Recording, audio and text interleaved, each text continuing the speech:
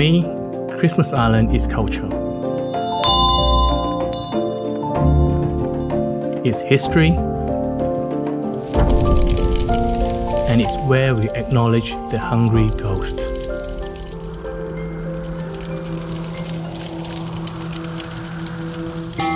According to Chinese customs and beliefs, the seventh month of the Chinese lunar calendar is the ghost month, and the 15th day is the ghost day.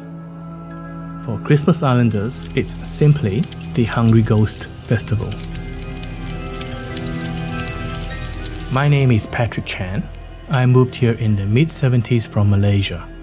I am a practicing Buddhist who observes Chinese cultural customs and festivals on the island.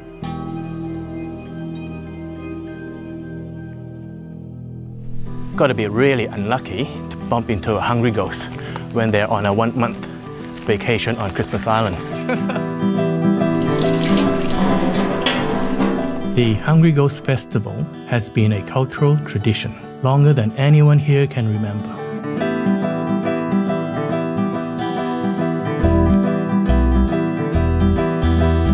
It begins around August on the Western calendar at the temple located in Drumsite. The Taoist temple is devoted to the god Shen Wang, who is the protector of the city and the chief magistrate of hell. Shen Wang will open the gates of hell and receive the prayers and offerings for the unnamed souls. The spirits are given this month to expunge or redeem themselves from their sins of their previous life. Both Taoists and Buddhists perform rituals to transform and absolve the sufferings of the deceased. The preparation of ritualistic food offerings is also carried out. The flag signifies sort of like an invitation to the souls to come and help themselves to these offerings. Chinese locals burn incense and joss paper. on the top a paper mache type material of items such as hell's currency and clothes for the visiting spirits. So what I've got here is um, paper mache gold ingots. So these, these are filling in for um, all the expenses for the afterworld. We serve elaborate meals for all. The good brother and sisters are treated as if they are still here amongst the living. There is a communication concept. So basically you ask a question, once have you eaten? And then they will use either these these blocks here. It's like two up. Alright, you just pick a coin, it's two up and you have head and tail. So it basically answers yes or no, or not yet.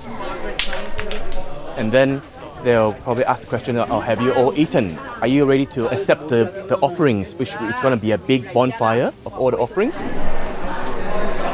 Are you good?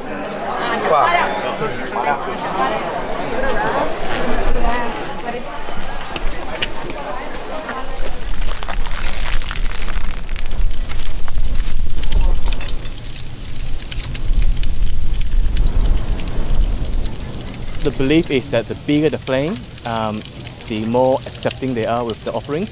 So we have good brothers and sisters here, you know, helping themselves to, with the offerings, which is a good sign.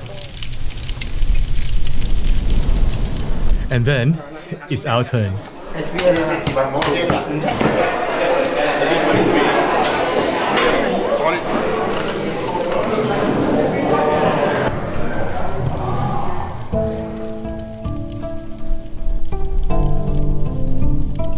An intrinsic part of the history of the Hungry Ghost Festival is the Chinese contract workers, who came to Christmas Island in the late 1800s when the harsh condition of phosphate mining left many of them dying of work injuries, poor nutrition, and diseases such as beriberi and malaria.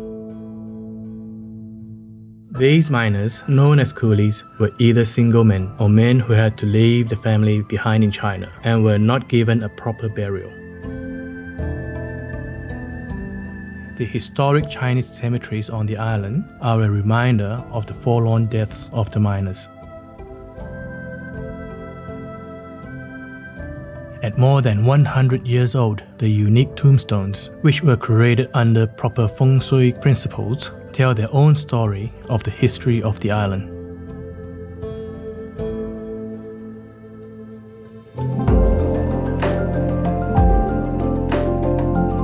The last day of the festival month is also marked with a special send-off ceremony, as the gates of hell will be closed again. Locals celebrate by burning more offerings so that the ghosts can return to the underworld content and at peace. In my mind, this festival is really about reflecting on the past. Through remembrance and hope, to obtain peace for oneself and the departed. We are all hungry goats, and we are only here for a brief moment in time.